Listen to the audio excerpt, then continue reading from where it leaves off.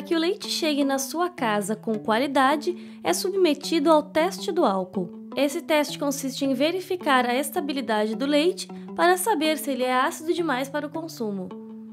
O teste do álcool ele é feito pelo transportador de leite, com auxílio de uma pistola de álcool, e ele vai na propriedade no momento da coleta do leite e faz uma coleta de amostra de leite e mistura esse equipamento mistura com frações iguais de álcool. Essa concentração, o mínimo estabelecido pela legislação é que o leite seja estável no álcool 72, ou seja, 72% de álcool. Depois da mistura, a amostra é analisada. Quando o leite permanece normal, sem modificação na aparência, está apto para o consumo. Mas quando é positivo para acidez, fica com gomos como esses que aparecem no vídeo. É considerado instável e não pode ser vendido para o consumidor. Mas a pesquisa mais uma vez entrou em cena e mostrou que existem outros resultados. Nós descobrimos que o leite ele pode dar reação positiva não apenas pela acidez elevada, mas também em alguns casos quando você tem um desequilíbrio no sistema de produção. Esse desequilíbrio na produção acaba gerando um leite diferenciado, que mesmo sendo saudável, é confundido com um leite ácido e, portanto, descartado sem necessidade.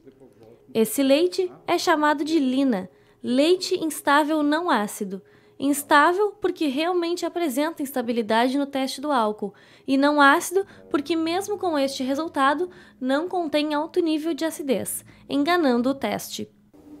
O teste do álcool simplesmente não identifica, não diferencia o que, que é o leite lina e o que, que é o leite ácido. E isso provoca a condenação do leite na propriedade rural. Mas se o teste não diferencia o lina do leite ácido, como o produtor pode distinguir um do outro? Bom, a pesquisa não ficou só na descoberta desse leite. A pesquisadora mostrou para gente como identificar se é lina ou se é realmente leite ácido. O produtor pode fazer um teste simples, que é ferver um pouco de leite.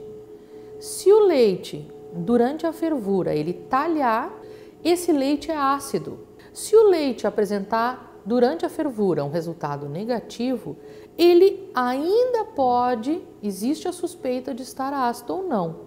Então, para confirmar a acidez do leite, é necessário que se faça um teste de acidez. O produtor deve chamar um técnico para a realização do teste. O técnico terá que medir então qual é a quantidade de solução de Dornick capaz de neutralizar o leite. Se mistura 10 ml de leite com fenolftaleína, algumas gotas, e se faz então a titulação. Os graus Dornick medem a acidez do leite. A fenolftaleína é uma substância indicadora. Ela não tem cor, mas quando é posta em um meio alcalino, fica rosada. O teste mede justamente isso: qual a quantidade necessária para que o leite fique rosado. Para que o leite seja considerado como lina, ele deve apresentar no máximo 18 graus Dornick. Se tiver mais do que isso, o leite é ácido mesmo.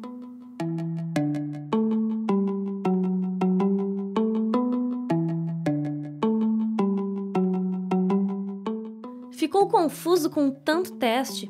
Bom, vamos retomar então. Você pega uma amostra do leite e faz o teste do álcool 72. Ficou com aparência comum? é leite normal e apto para o consumo. Ficou instável com grumos e precipitações? Faça o teste da fervura. Se o leite talhar, você já pode descartar porque é ácido. Mas se permanecer com a aparência normal, chame um técnico e passe para o teste de graus Dornick. Se der 18 graus ou menos, o leite está bom. Se der 19 ou mais, é ácido. Se você, além de identificar o problema, quer diminuir as chances de ter leite instável não ácido para evitar confusão, a pesquisadora ainda te dá algumas dicas e ressalta que é mais comum a ocorrência do lina em animais com tempos de lactação muito prolongado, acima de 10 meses, e também com estresse por conta de calor excessivo no verão. Então, no momento que o produtor ele tem uma oscilação, uma diminuição de oferta de forragem para os seus animais, lá por uh, março, abril, a pastagem de verão já terminou e a pastagem de inverno ainda não está pronta, a oscilagem ainda não está pronta, é mais frequente ocorrer os casos de lina. Da mesma forma, no período no final da primavera, quando a recém está iniciando a brotação das forragens de verão e que ainda não tem ou já está com má qualidade a forragem de inverno, também ele pode acontecer de forma mais frequente nos animais. Depois que o Lina se instala, ele, para que você consiga, através do ajuste da dieta, fazer com que esses animais voltem a produzir um leite normal, ele demora um certo tempo, de 15 a 20 dias, dependendo da situação. Por isso é importante que o produtor trabalhe com a prevenção do Lina e não tentando resolver o problema depois que ele aparece. A escassez de forrageiras pode variar a época para cada local do país, então você deve verificar quando acontece na sua região. A identificação do lina e do leite ácido é muito importante, porque o que causa cada um desses tipos tem origem diferente. Dessa forma, o produtor vai saber que estratégias de manejo utilizar no rebanho. O leite ácido é causado por falta de higiene ou problemas no resfriamento, enquanto o lina, como vimos, tem ligação com a escassez de alimentos, tempo grande de lactação e altas temperaturas. Então, para que você possa entregar um leite de qualidade, disponha uma alimentação nutritiva para os animais, cuide da higiene e permita que fiquem em um lugar que tenha uma sombra fresca no verão.